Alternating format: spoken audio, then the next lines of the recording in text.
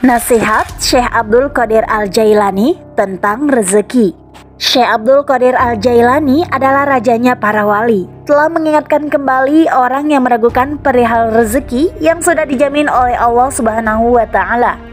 Syekh Abdul Qadir mengatakan bahwa keraguan dan kegamangan perihal rezeki merupakan sesuatu yang tidak perlu karena Allah telah mengatur rezeki masing-masing orang.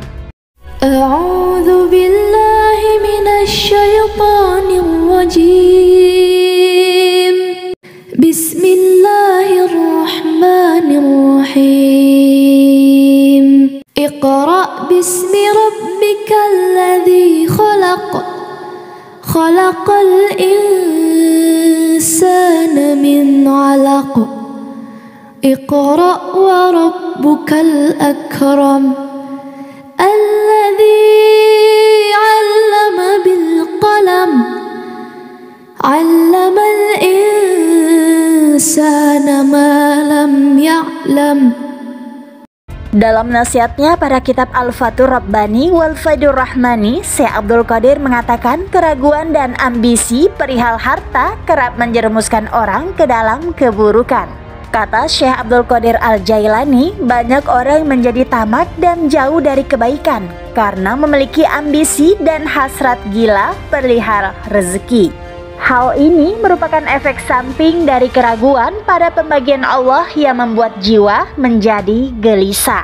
Rezeki sudah dibagi atau diatur pembagiannya, tidak lebih, tidak kurang, tidak maju dan tidak mundur.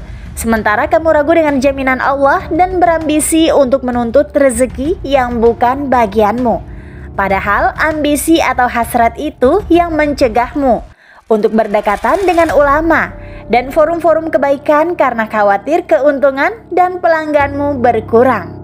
Sebagai catatan di video ini, jika Anda ingin tahu sumber kitab apa, silakan baca kitab Syekh Abdul Qadir Al-Jailani, Al-Fatur Rabbani, Wal Faidur Rahmani, Beirut Darul Fir 2005 Masehi atau 1425-1426 Hijriah, halaman 98. Kepada orang-orang yang cemas, ragu, gamang, gelisah, dan khawatir perihal rezeki, Syekh Abdul Qadir Jailani selanjutnya mengingatkan mereka pada kuasa Allah.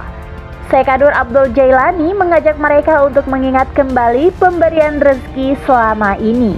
Pada saat kamu di dalam kandungan ibumu, siapa yang memberikanmu asupan makanan? Apakah kamu bergantung pada dayamu, dinar dirhammu, laba penjualananmu, atau penguasa di negerimu? Kata Syekh Abdul Qadir Jailani, 2005 Masehi atau 1425 1426 Hijriah, halaman 99. Berkata Syekh Abdul Qadir, seharusnya yang kamu jadikan sandaran hanyalah Tuhanmu. Seharusnya yang kamu takuti dan harapkan hanyalah Tuhanmu. Seharusnya yang kamu anggap dapat memberikan manfaat dan mudarat juga hanyalah Tuhanmu. Kemusyrikan seperti ini yang kusaksikan hingga pada banyak orang.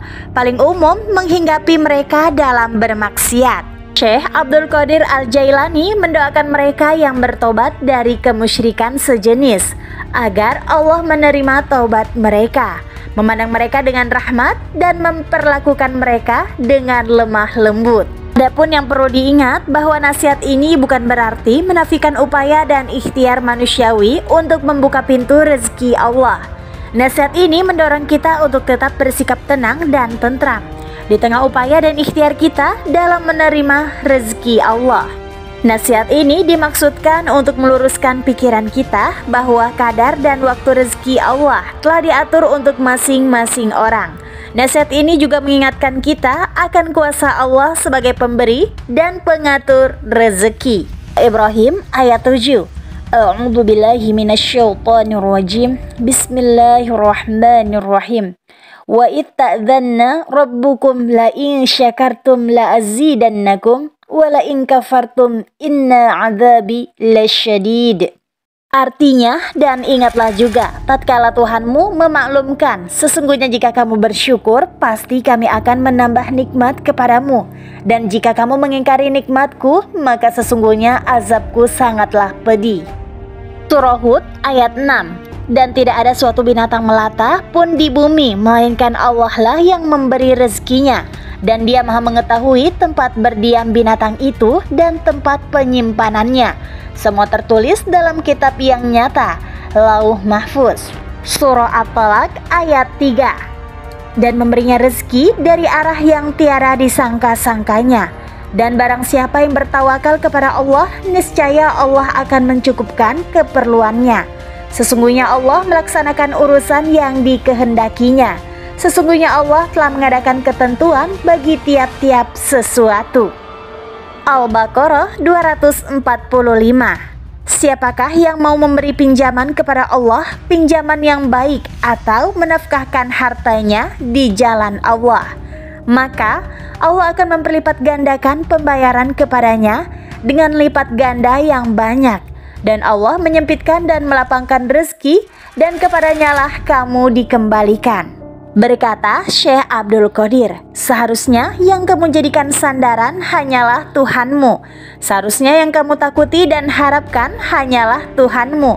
Seharusnya yang kamu anggap dapat memberikan manfaat dan mudarat juga hanyalah Tuhanmu. Kemusyrikan seperti ini yang kusaksikan hingga pada banyak orang. Paling umum menghinggapi mereka dalam bermaksiat.